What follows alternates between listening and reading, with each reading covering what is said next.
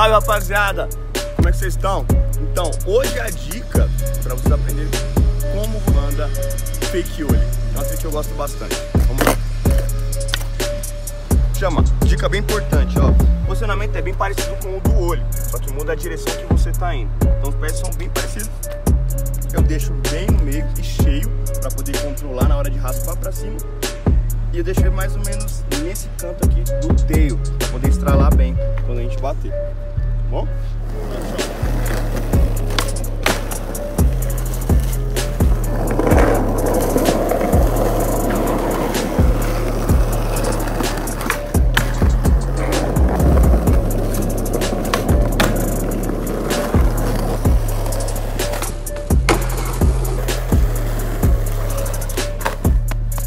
Bom, rapaziada, espero que as dicas tenham ajudado você.